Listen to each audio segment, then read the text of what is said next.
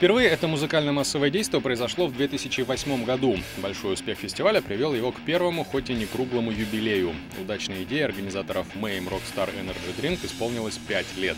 Структура фестиваля оказалась выигрышной. Большая занимаемая территория, отличная логистика, три сцены, на которых по очереди выступают сначала начинающие музыканты, затем уже именитые и в финале звезды континентов, как, например, в этот раз группа Slayer, выступающая уже три десятка лет.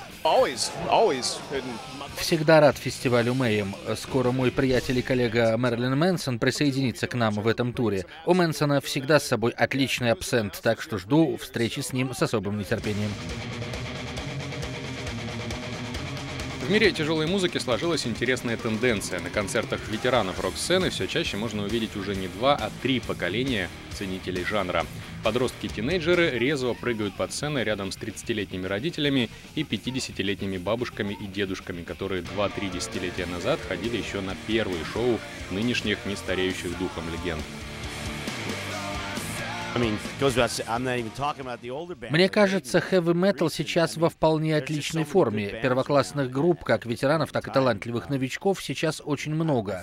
Сквозь годы успех тяжелой музыки, конечно, идет то вверх, то вниз, но я думаю, металлическая музыка еще долго будет на высоте.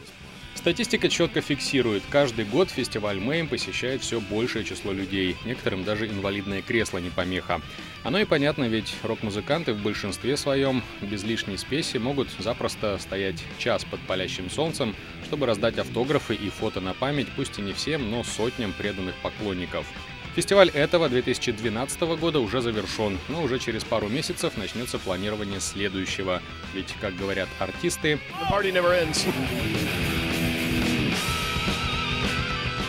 Валерий Кипелов, Александр Павлов, НТВ Америка.